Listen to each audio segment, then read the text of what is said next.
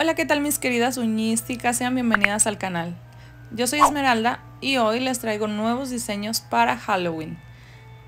Estaré utilizando estos productos de la marca Rosalind que me enviaron eh, de esta compañía. Y vean, este es el pincel que me regalaron, es el de 11 milímetros y estaré utilizando este gel blanco. Aquí ya tengo mi uñita mate. La hice mate con la lima sponge y estaré dibujando con la misma brocha de este gel. Vean, hice primero un círculo y ahora estoy agregando ciertos detalles ya que estaré realizando unas flamas. Vean, voy haciendo estas ondulaciones ya que pues las flamas, como ustedes saben, llevan eh, estas formas distintas, no todas son iguales. Así que aquí tú puedes jugar con este, estos detalles con tu imaginación, si las quieres más alargadas, más delgadas, si las quieres más gruesas. Pero en esta ocasión yo las estaré haciendo así, vean. Eh, la del centro un poquito más larga y las de los lados un poco más corta una que otra. Ahora estaré utilizando este pincelito y estos pigmentos que ustedes ven aquí que son facilísimos de conseguir. Y estuve curando este gel blanco por solo 20 segundos para que se adhiera bien el pigmento. Si ustedes no sabían por qué no se adhería el pigmento, pues es que entre más tiempo pasa el gel dentro de la lámpara, pues se le quita esa capita pegajosa de inhibición de oxígeno que es la que adhiere cualquier tipo de polvo, pero sobre todo este polvo que es mate, pues tiene que eh, ser adherido con mayor viscosidad, con mayor uh, inhibición, con capa de inhibición, esta capita pegajosa que ustedes conocen.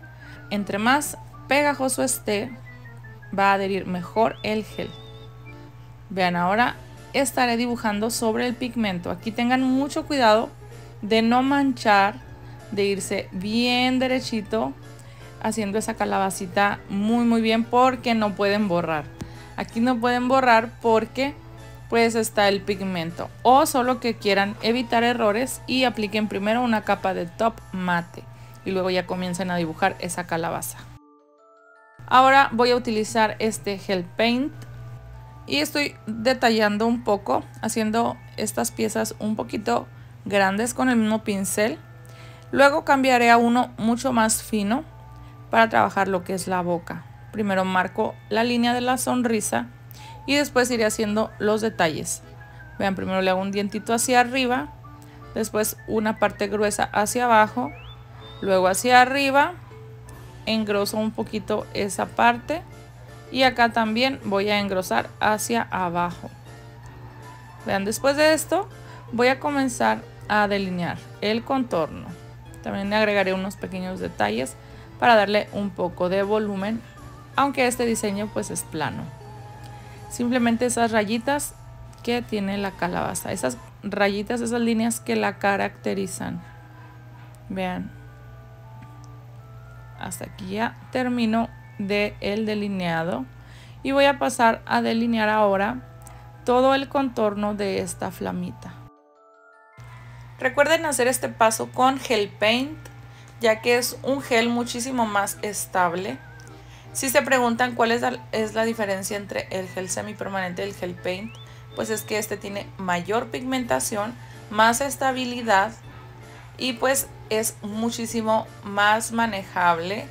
Parece como una mantequilla y lo puedes deslizar perfectamente y no se te va a estar escurriendo, no se va a correr y te va a dejar unos trazos bien precisos.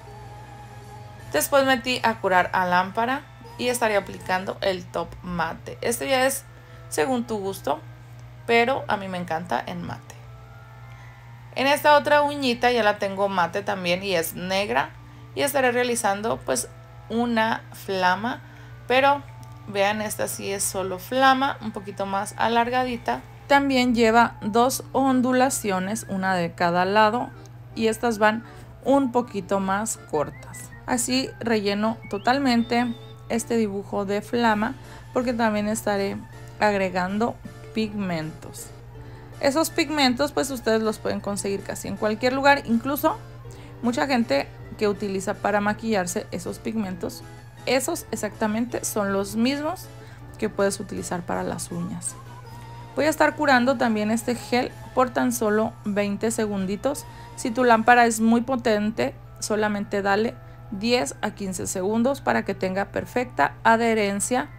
Y vean yo cómo voy colocando los colores siempre de abajo hacia arriba para no tener manchones y que se vea bien degradado el color. Luego voy a sacudir el exceso. Recuerda que tu uña tiene que estar mate para que el pigmento no se adhiera en toda la uña porque luego lo sacudes y no se le quita.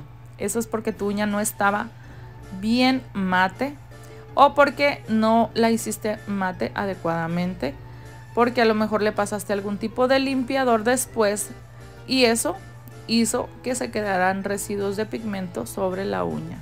Agregué unos últimos detalles que son estas estrellitas, algunos puntitos y estas medias lunitas también.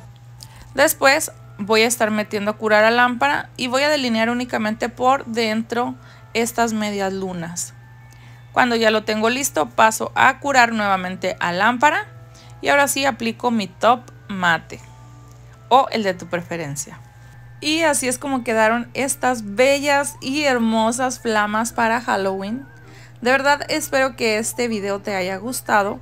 Si fue así, por favor déjame tu like, tu comentario y no olvides dejar también tu banderita para saber desde dónde me estás escribiendo. Pero sobre todo suscríbete de esa manera mis videos llegarán directo a tu pantalla. Presiona la campanita de notificaciones en todas y listo. Muchísimas gracias por haberme acompañado. Nos vemos en un próximo video. Cuídate mucho, que Dios te bendiga. Chao, chao.